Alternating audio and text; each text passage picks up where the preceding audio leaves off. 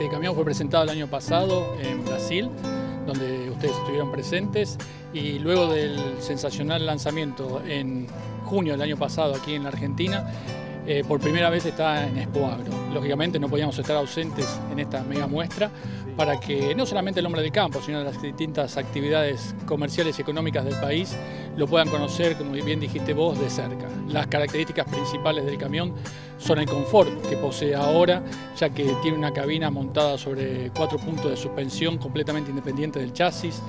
un cómodo acceso a la cabina, un asiento con ocho tipos de regulaciones, inclusive eh, montado sobre un sistema de suspensión neumática, un tablero totalmente ergonómico y por primera vez está yendo con una cabina dormitorio original de fábrica, que era lo que tanto pedía el mercado argentino en la línea de Ford Camiones. Estamos mirando la nueva Ranger, que bueno,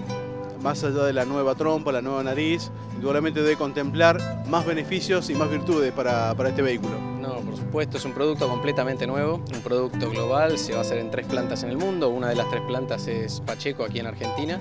y desde esas tres plantas se va a vender a 180 mercados, así que la verdad que estamos muy contentos y muy orgullosos de que una de las tres plantas en el mundo sea la de Argentina. Es una plataforma completamente nueva, el vehículo es todo nuevo, tanto en sus líneas exteriores como en el interior, que por primera vez aquí estamos mostrando, y estamos empezando a contar algunas de las características que tiene este vehículo. Ya empezamos hace poco más de un mes y seguimos aquí en Expoagro haciendo lo que llamamos la experiencia Ranger, que es el prelanzamiento de la camioneta, con, estamos contando el motor de 3.2 litros TSI, 200 caballos de potencia, 470 Nm,